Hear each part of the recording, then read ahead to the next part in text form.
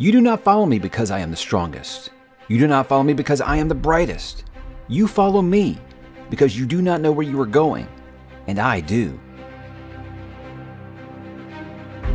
I would have lived in peace, but my enemies brought me war.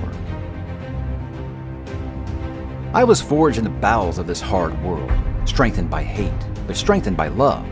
And love and war are two different battlefields. The world is soundless. We cannot hear. But a pack of wolves does not need words to know that it is time to hunt. I am a sheep wearing wolf's clothing in a pack of wolves.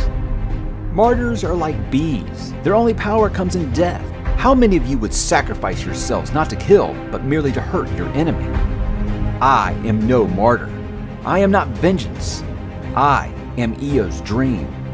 Man cannot be freed by the same injustice that enslaved it. Promises are just chains, and both are meant for breaking.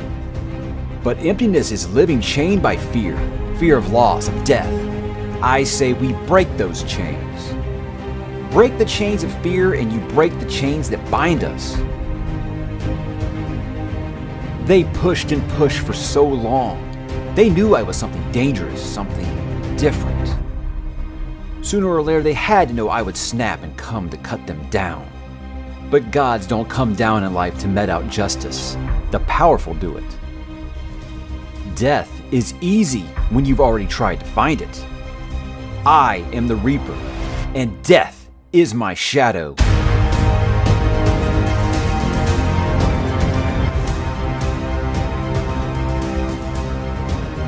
It is the hottest fire that forms the sternest steel.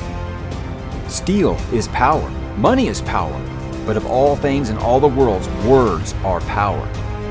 And the measure of a man is what he does when he has power.